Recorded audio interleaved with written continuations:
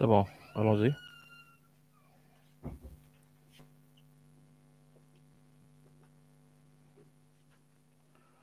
Alors, il faut vous signaler si vous êtes là, euh, au niveau du chat.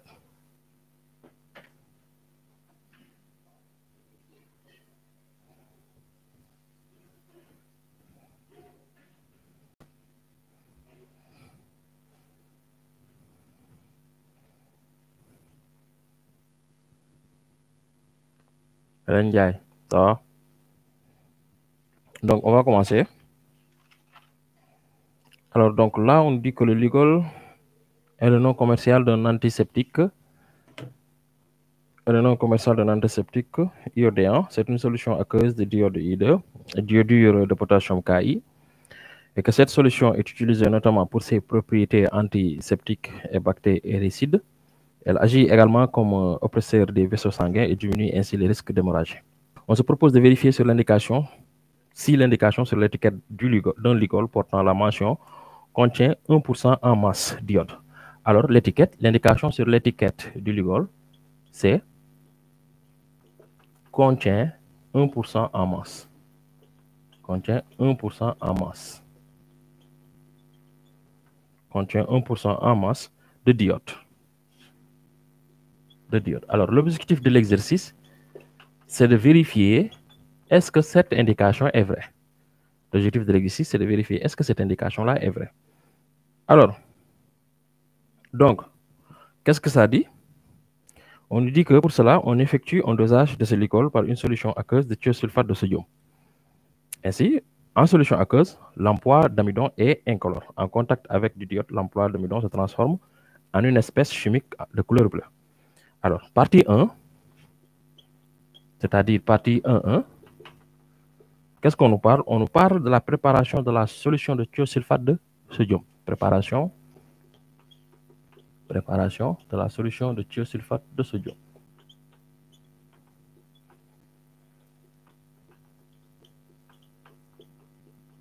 De thiosulfate de sodium. Good. Alors, donc là, on dit on prépare un volume V égale 50 ml de la solution aqueuse de sulfate de sodium à la concentration C égale à 0,10 mol par litre à partir du sulfate de sodium elle-même. Solide pentahydraté de formule Na2, S, Na2,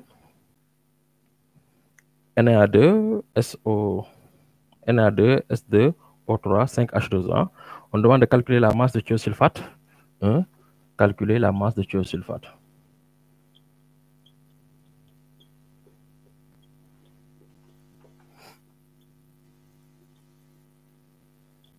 calculer la masse de thiosulfate.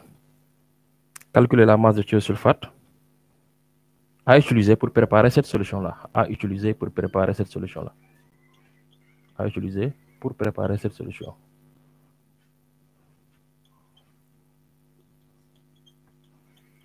À utiliser pour préparer cette solution. Alors, donc, ce qu'il faudrait faire ici, c'est quoi? Je vais chercher des feutres. Non, est-ce que j'ai un feutre là? Oui, j'ai un feutre là. Merci. Heureusement, j'en ai en réserve. Good. Alors, donc là, ce qu'il faudrait faire, c'est que quelle est la masse? On demande de calculer la masse. Quelle est la masse de thiosulfate? Donc, on veut préparer une solution. Quelle est la solution qu'on veut préparer? Alors, la solution qu'on veut préparer ici, c'est une solution qui contient un volume V égal à 50 ml avec une concentration C égale à 0,1 mol par litre. On va préparer une solution. Et qu'est-ce qu'on va faire ici? À partir de quoi? À partir du thiosulfate pentahydraté, c'est-à-dire à partir du Na2 S2 O3 1,5 H2O. À partir d'ici. C'est ça qu'on va préparer. Alors donc, ce que je fais, c'est que il me faut une masse de ça. Ça, je vais appeler ça 1. Et ça, je vais appeler ça 2. Il me faut une masse de ça. Ensuite, mettre de l'eau et avoir une concentration qui est ça. Ça veut dire que le nombre de mol de 1 devrait être égal au nombre de mol de 2. Donc, ce qui fait que donc, je vais avoir N1 ici, c'est égal à N2. Or, je sais que N1, c'est quoi? C'est M1 sur la masse molaire de M1 qui est égal à N2. Ici, N2 de ce CV. Là, je vais appeler ça V2. Là, je vais appeler ça C2. Donc là, je vais avoir C2, V2. Et du coup, je vais avoir donc M1, c'est égal à C2, V2, M1. Et le M1 là, en fait, c'est la masse molaire du Na2, S2, O3, pentahydroté 5H2O. Quand vous regardez, c'est 2 fois 23, plus 2 fois 32, plus 3 fois 16, plus maintenant 5 fois 18. 18, c'est la masse molaire de H2O. Quand on regarde, donc, on a M1 égale à, je pense que je vais trouver 248 grammes par mol. 248 grammes par mol. Et là, une fois qu'on a ça, on va faire l'application numérique et dire que dans ce cas-ci, M1, donc, c'est égal à C2, c'est 0,1 mol, multiplié par 50 10 puissance moins 3, et multiplié par M1, c'est-à-dire 248 grammes par mol. Lorsqu'on a fait l'application numérique, on a trouvé une masse M égale à 1,24, M1 égale à 1,24 grammes. Good. C'est ça.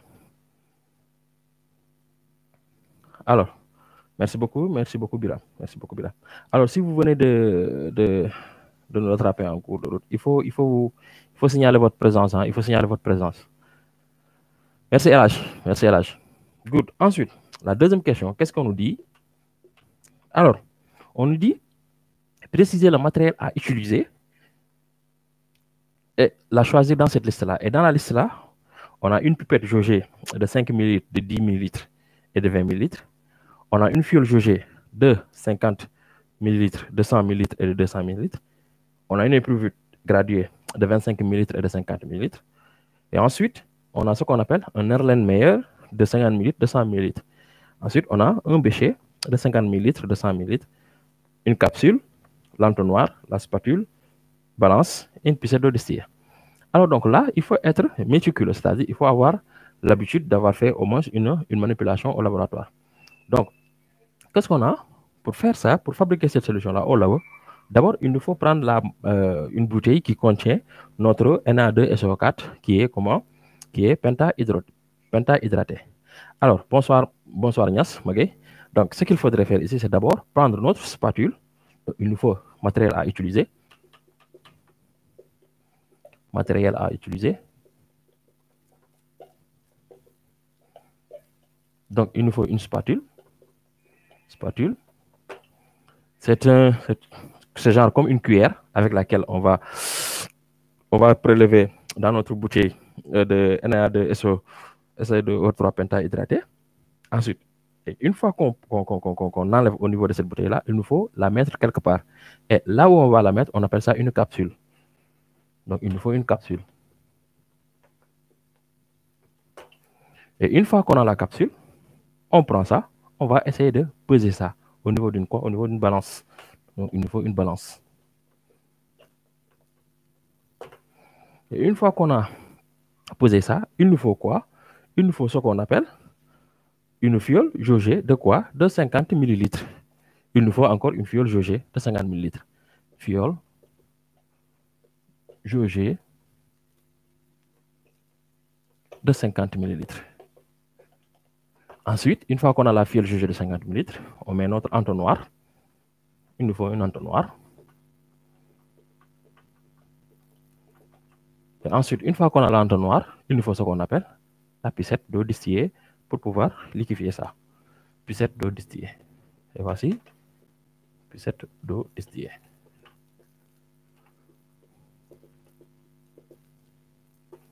Good. Good. Alors, donc, on en a fini avec. Alors, la question suivante, c'est quoi? Elle nous dit, partie 2, le dosage du Lugol. Partie 2, dosage du Lugol. Dosage du Lugol. Le dosage du Lugol. Alors, pour ça, on dit, en solution aqueuse, le diode est de couleur brune. Les solutions aqueuses de thiosulfate de sodium ou tétrathionate de sodium sont incolores. Alors, on nous donne les potentiels standards des deux couples redox mis en jeu. Les potentiels standards sont là. On a E du couple S4 O6 2 moins slash S2 O3 2 moins qui est égal à 0,09 volts. Et ensuite, on a le potentiel standard du couple I2 slash I qui est égal à 0,53 volts. On dit maintenant qu'on introduit dans un bécher un volume V0 égal à 10 ml de la solution de Lugol. Donc, un volume V0 égal à 10 ml de la solution de Lugol. On l'introduit ça dans un bécher. Et ensuite, une fois qu'on a introduit ces 10 ml là dans un bécher, on ajoute 20 ml d'eau distillée puis quelques gouttes d'emploi d'amidon. On place la solution aqueuse de thiosulfate de sodium préparé dans une burette graduée. Alors, dans une burette graduée de 25 ml. La première question, on demande parmi la liste ci-dessus, c'est-à-dire la liste tout à l'heure que j'ai lu tout à l'heure, quelle verrerie doit-on utiliser? Quelle verrerie doit-on utiliser pour mesurer le volume de la solution de Lugol et les 20 ml d'eau distillée justifiée? Alors, la verrerie ici qu'il faudra utiliser, c'est simple. Il nous faut le Lugol lui-même, le Lugol, une pipette à de 10 ml et une épruvette de 25 ml au moins. Une épruvette de 25 ml. Parce que parmi les éprouvettes qu'on a, on a une épruvette de 25 ml et de 50 ml. Verrerie à utiliser. Verrerie à utiliser. Tout d'abord, il nous faut une pipette de 10 ml, éprouvette de 25 ml,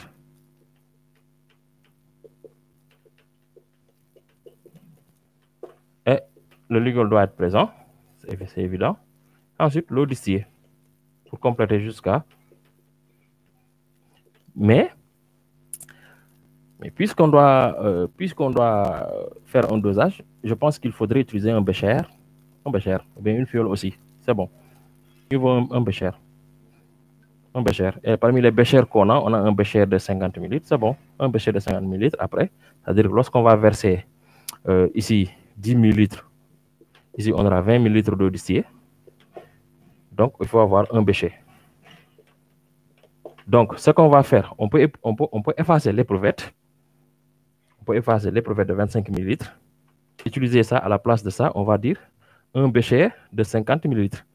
Pipette, bécher de 50 ml. Alors, ce qu'on fait, on pipette le ligol, 10 ml de ligol, on verse ça dans notre bécher de 50 ml. Ensuite, on complète jusqu'au trait avec 20 ml d'eau distillée. Et ça, on va utiliser piscette d'eau distillée. Une piscette d'eau distillée. Donc, c'est bon. Good. Alors, une fois qu'on a fini ça, on dit d'écrire l'équation bilan de la réaction de dosage. Équation bilan de la réaction de dosage. Équation bilan de la réaction de dosage. Équation bilan de la réaction de dosage.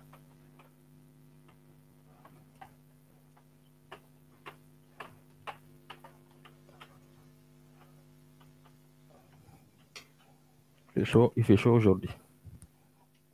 Alors donc, là, l'équation bilan de la réaction de dosage. Deuxièmement, équation bilan.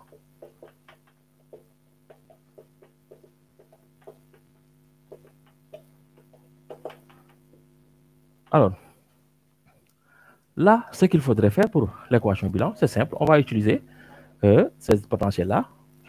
Puisque celui-là a un potentiel plus élevé, il sera en haut. Je vais faire I2 slash I.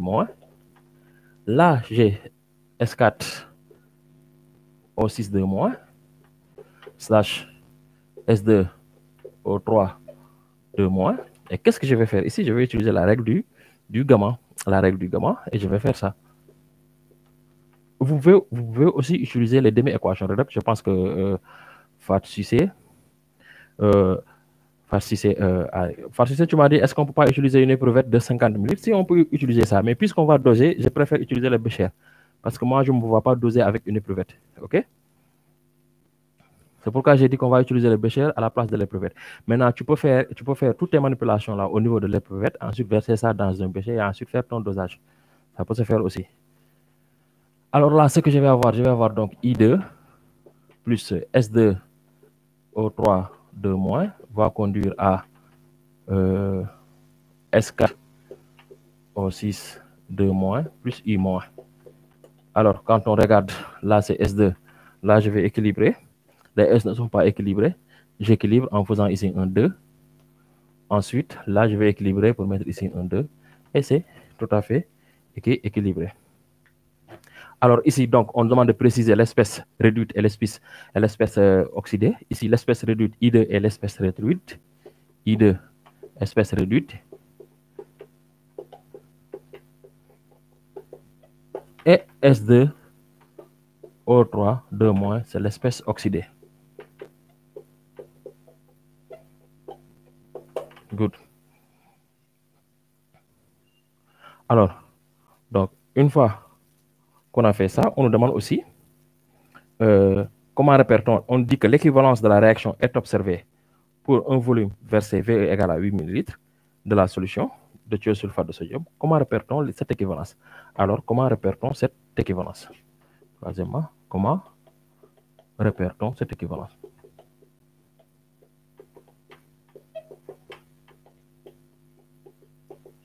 Comment répère-t-on cette équivalence?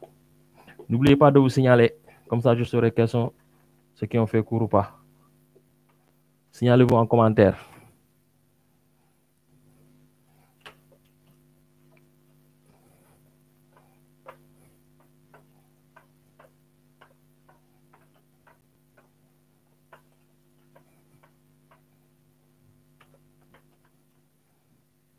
Alors, donc comment on va récupérer, repérer l'équivalence? Il faut savoir que l'équivalence est repérée par un changement de couleur. L'équivalence est repérée par un changement de couleur. L'équivalence est repérée par un changement de couleur. Est repérée par un changement de couleur.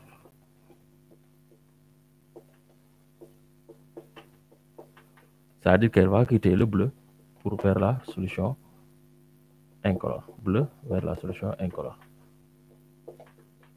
Et grâce à l'emploi d'amidon, on peut mieux repérer cette équivalence-là. Grâce à l'emploi d'amidon,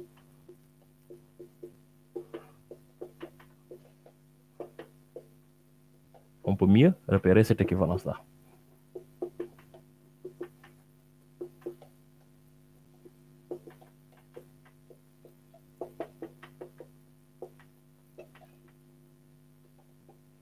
Point on peut mieux récupérer, euh, cette équivalence-là. OK. Good. Ensuite, une fois qu'on a fait ça, on demande maintenant de calculer la concentration molaire et massique en diode dans la solution commerciale de l'EO. Quatrièmement, calculer la concentration molaire en I2 et la concentration massique en I2.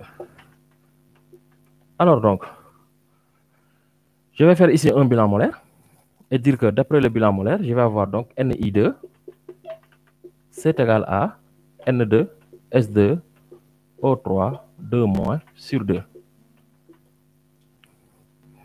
Or, donc, si j'ai ça, ce qui fait que donc, je vais avoir donc NI2, c'est CI2 fois VI2. CI2 fois VI2, qui est égal à ici C0, V0 sur 2. Je pense que c'est ça. Oui, C0, V0 sur 2. C'est ça. Alors, donc là, je vais avoir la concentration molaire en I2.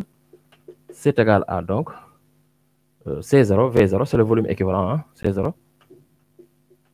VE. Ici, je vais ici dire VE. Non, c'est comme ça, oui.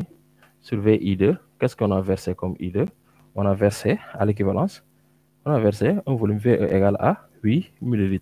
Donc ici, c'est C0 VE. C'est bon, je peux le laisser comme ça. Donc sur 2, VI2. Good. Et je fais l'application numérique. Je fais l'application numérique. Quand je fais l'application numérique, dites-moi en commentaire comment, combien vous avez trouvé. CI2, c'est égal à C0, c'est 0,1 multiplié par 8 millilitres. 8 millilitres, c'est 8 10 puissance moins 3, divisé par 2 fois 10 10 puissance moins 3. Et vous avez trouvé combien? Moi, j'ai trouvé 4 10 puissance moins 2 mol par litre.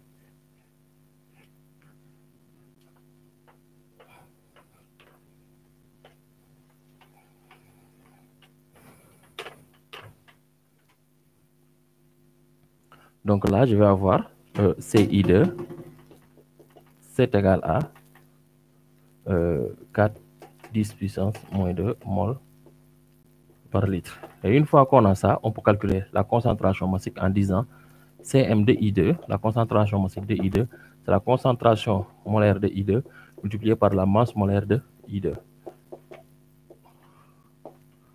Et donc, ça va me donner Cm de I2, c'est égal à 4 10 puissance moins 2 multiplié par maintenant la masse de molaire de I2. La masse molaire de I, c'est 127, donc je vais multiplier par 2 fois 127. Et ce qu'on a, on a 10,16 grammes par mol. 10,16 grammes par mol. Grammes par litre du moins. Donc Cm de I2 est égal à 16, 10,16 10,16 grammes par litre. Et la question qu'on va nous poser automatiquement, c'est quoi? Est-ce que l'étiquette dit vrai? Est-ce que l'indication sur l'étiquette est correcte? Cette indication-là, elle est incorrecte. Pourquoi? Parce qu'ils ont un masse 1% de diode. C'est-à-dire que euh, pour chaque litre, on a 0,01, alors qu'ici, pour chaque litre, on a 1,10,16. Donc, l'indication de l'étiquette est fausse. Donc, l'indication de l'étiquette est fausse.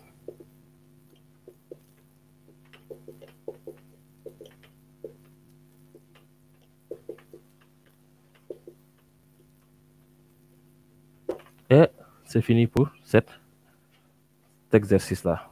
OK? C'est fini, c'est pour cet exercice-là. C'est 0 qu'on cherche.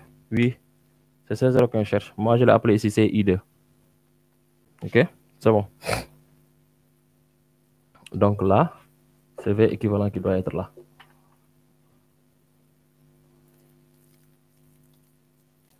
C'est bon. Alors, on passe à l'exercice 2, si c'est bon.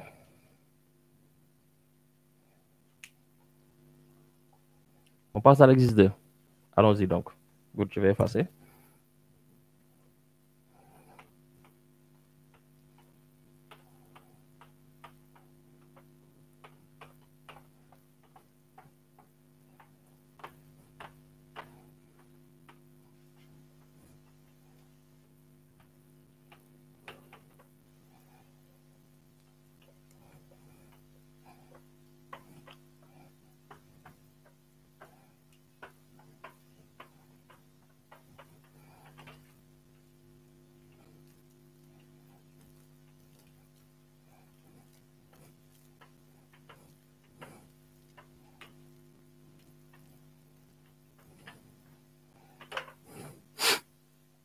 Alors, donc, l'exercice 2.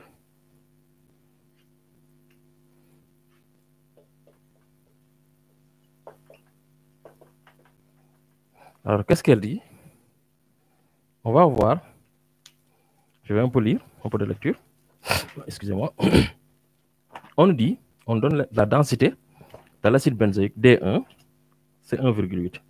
Densité acide benzoïque, densité acide benzoïque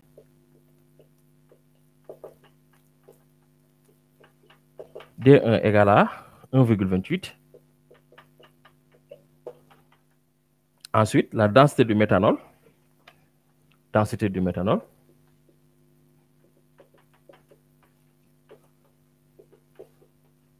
Densité du méthanol. D2 égale à 0,792. 0,792.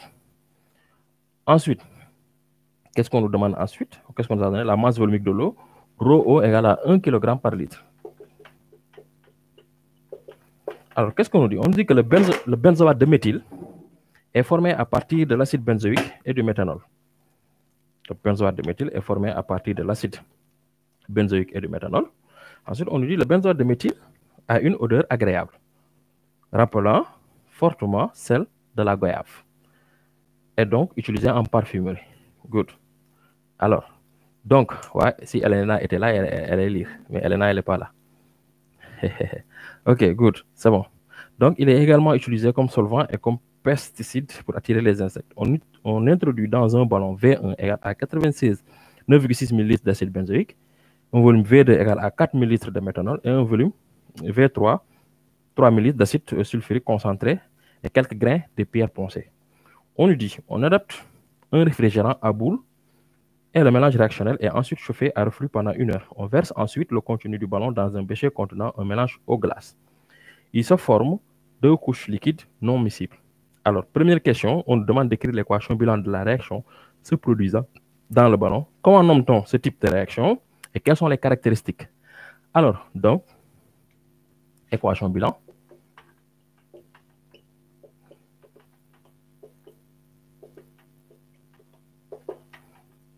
Alors, donc c'est l'acide benzoïque. Je vais avoir donc euh, C6H5-CO-OH plus le méthanol. Le méthanol, c'est CH3, c'est OH-CH3. Alors, donc, la réaction entre un acide carboxylique et un alcool, on sait tous que c'est une réaction d'estérification. Donc, il faut faire les deux, les deux, les deux flèches. Alors, ce qui fait que donc, on aura euh, C6H5-CO-O-CH3 plus de l'eau H2O. Alors, caractéristique de cette réaction-là, euh, bon, le nom d'abord, c'est une réaction d'estérification. Réaction d'estérification.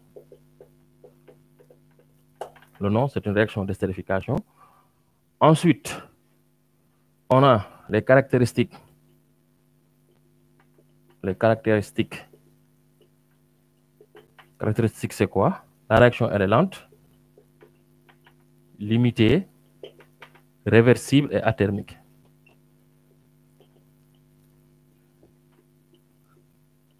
Ça, mon, vous ne devez pas poser ça. Ensuite, la question suivante, on nous demande euh, préciser le rôle de l'acide sulfurique. Rôle de l'acide sulfurique. Là, il n'y a même pas les recherches de midi à 14 heures. Euh, l'acide sulfurique, ça c'est la question 1. La question 2, on va dire, l'acide sulfurique joue le rôle de catalyseur. C'est simple. L'acide sulfurique, sulfurique joue le rôle de catalyseur. Si c'est toi, tu as fait des commentaires comme quelqu'un qui fait de l'histoire-géographie. Hein? Joue le rôle de catalyseur. C'est simple.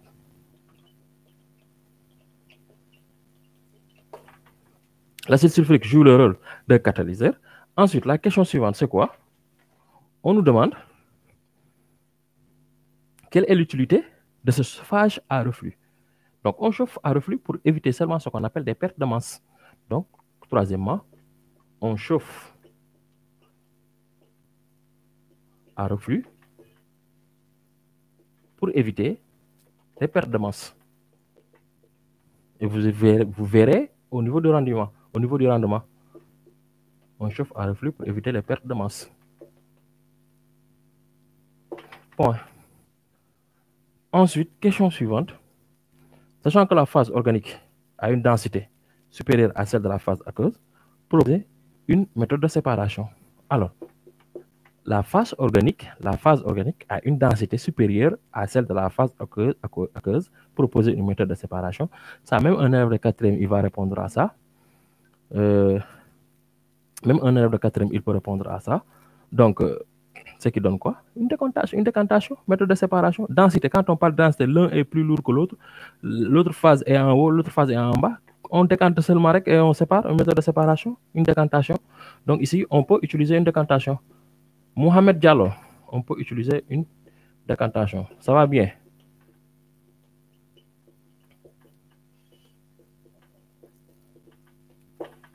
Bon, je ne me rappelle pas avoir un, un, élève du nom de Mohamed Diallo, mais bon, je ne sais pas. Comment tu vas? Ça va? Alhamdulillah. Good. Alors, quatrièmement, on a ça. Ensuite, euh, cinquièmement, cinquièmement, après avoir lavé et séché la phase organique, on obtient une masse M1 égale à 8,1 g du composé organique. Alors donc, on a une masse M1 égale à 8,1 g du composé organique, c'est-à-dire 8,1 g de l'ester. 8,1 g de l'ester. Alors donc, si on a une masse M1 égale à 8,1 g de l'ester, calculer la quantité de matière initiale des réactifs. 5,1, quantité de matière initiale. Quantité de matière initiale.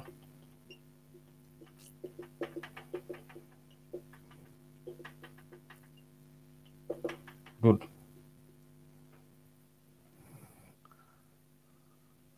Ah, Diallo suñu.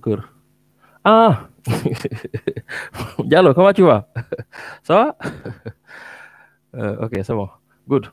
Alors, donc, euh, quantité de matière initiale, ce qu'il faudrait faire ici, c'est simple. Euh, puisque ici, l'acide benzénique, on a nommé ça D1, et l'acide de méthanol, la, le méthanol, on a nommé ça D2, on va aller chercher maintenant du N1. N1, c'est la quantité initiale d'acide benzénique. On va dire N1, c'est la masse M1 sur la masse molaire M1. Or, à quoi est égal à M1 Je sais que euh, on m'a donné la densité. On m'a donné la densité. Je vais dire que densité 1, c'est rho 1 sur, sur quoi? Sur rho O. Donc, rho 1, c'est densité 1 fois rho O. Or, ce rho 1 là, c'est M1 sur quoi? Sur V1, qui est égal à densité 1 fois rho O. Donc, ce qui fait que donc M1, c'est égal à densité 1 fois V1 fois rho O. Et du coup, je vais avoir donc N initial ici. N initial 1, c'est égal à donc densité 1 fois volume 1 fois rho O sur masse molaire moléculaire M1. Et là, je fais comme ça. Et quand je vais faire l'application numérique, je vais avoir donc euh, là, euh, je pense que j'avais eu moins 0,1 mol. Donc, je vais avoir ici N1. Je ne sais pas si c'est comme ça. Rappelez-moi si c'est comme ça. Si vous avez trouvé ça. Si c'est ça, vous me dites. Hein? C'est 10 puissance 3 multiplié par. Euh, bon, ça c'est rho O. Le volume 1, on a dit V1 est égal à 9,6. 9,6 10 puissance moins 3. Multiplié par euh, D1, c'est 1,28. Divisé par euh, la masse de l'acide benzoïque. Moi, j'ai trouvé 80, 122. C'est 122. Je pense que c'est ça. 122. Et donc, ce qui fait que G, c'est égal à 0,1 mol. C'est ça, je pense. C'est ça. C'est ça. Good. Ensuite, je fais la même démarche. Avec la même démarche, avec la même démarche, on trouve N2 initial, qui est la masse initiale de, du méthanol. C'est D2 fois V2 fois rho O sur masse molaire M2. Et donc, j'ai N2 initial, c'est D2, et D2, ça me donne, ça me donne quoi? 0,792 multiplié par V2. V2, ça me donne euh, V2 4000 litres, 4 10 puissance moins 3, multiplié par rho O, 10 puissance 3, divisé par M2, et lorsque j'ai calculé la masse molaire, j'ai obtenu 32. Et du coup, je vais avoir N2 initial, c'est toujours égal à 0,1 mol. Good. 0,1 mol. Et ça, c'est la question des masses molaires initiales. Ensuite, la question 2, 5.2. Quelle serait la masse obtenue? On vous a bien dit quelle serait. Regardez bien la question. Quelle serait? Quelle serait? Non, en fait, ce n'est pas 0,1. Farsi, je sais même pas ce que tu as écrit comme ça. 0,1.10 exposant moins 3. C'est quoi 0,110 exposant moins 3 Donc, on demande quelle serait la masse obtenue du composé organique si la réaction était totale. On a bien dit quelle serait. Quelle serait. Donc, ça veut dire, en fait, c'est normalement ce qu'on doit avoir. C'est quelque chose de théorique. Ce qu'on doit avoir. Ce n'est pas encore l'expérience. Donc, ici, on ne fait que nous demander la masse théorique. Hein. Donc, euh, la question 5.2. Quelle serait la masse? Quelle serait? Et là, je vais, appeler, je vais appeler ça M3. Ou bien, oui, la masse ME, la masse d'ester. Quelle serait la masse d'ester si les réactifs initiaux, c'est 0,1 mol, 0,1 mol. Donc, on a vu que c'est une, une réaction stéréochrométrique, on a les mêmes coefficient ischémique. Donc, ici, N1 de ça est égal à N2 de ça. Normalement, ça sera égal à NE de ça. Donc, je vais dire que donc, je sais que ME, c'est égal à NE fois masse molaire de l'ester. Masse molaire de l'ester. Or, qu'est-ce que je connais de NE NE égale N1 égale N2 égale 0,1 mol. Alors donc, je vais avoir, or, NE est égal à N1 initial égal à N2 initial est égal à 0,1 mol. Et la masse molaire de l'ester, c'est égal à combien? C'est égal à 136, la masse molaire de ça. ME, c'est égal à 136 grammes par mol. Et du coup, je vais avoir donc la masse molaire ME, c'est égal à 0,1 multiplié par 136. Et donc, j'ai une masse ME qui est égale à combien? J'ai une masse ME qui est égale à 13,6 grammes. 13,6 grammes.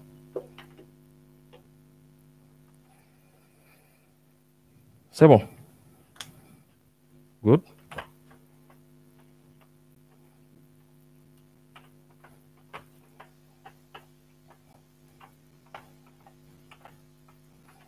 Et du coup, ce que je vais avoir, ah, Justine Sagna, bienvenue Justine. Alors c'est bon, on calcule le rendement. 5, 3. 5, 3 maintenant. Rendement, on doit calculer le rendement. Je vais dire rendement R, c'est la masse qu'on m'a donnée tout à l'heure. C'est-à-dire, on m'a dit la masse M sur la masse E d'ester multiplié par 100. Et en fait, je vais avoir rendement, c'est égal à 8,1 divisé par 13,6 multiplié par 100. Et ce qui fait un rendement R égal à combien? Quand je calcule, moi, j'ai trouvé un rendement de 59,6%. 59,6%. Et voici le rendement. Et voici le rendement. OK? Euh, Justine, on est à l'exercice 2. Nar, c'est Nar qui est Justine. Magay, Nar de Justine l'autre ligue. Euh, Khan, Ziz, Rasoul Khan. Bon, je ne sais pas ce qui est Rasoul Khan, mais il m'a dit Ziz. Sûrement, il doit me connaître. Donc, euh, alors, on demande comment expliquer l'écart entre la valeur expérimentale du rendement et la valeur théorique qui est de 67% pour un mélange équimolaire entre l'acide carboxylique et l'acide primaire. Alors, cet écart-là peut être exprimé, c'est-à-dire qu'une partie du, du, produit est perdue durant, durant les phases de, de décantation, les phases de séparation et de purification. On va dire cet écart, cet écart peut être expliqué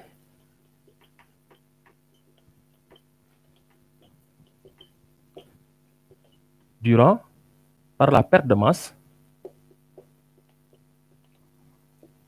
par la perte de masse durant les phases de séparation et de purification qui sont nécessaires hein, durant, phase de, durant les phases de séparation et de purification qui sont nécessaires. De purification qui sont nécessaires.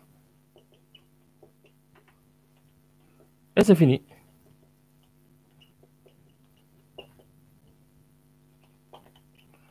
Donc, on a fini avec l'exercice 1 et l'exercice 2. Donc, il ne faut pas attendre à ce que qu'on vous dise de rendre ou bien de préparer l'exercice 3 et l'exercice 4 parce que le mercredi prochain, on va corriger ça.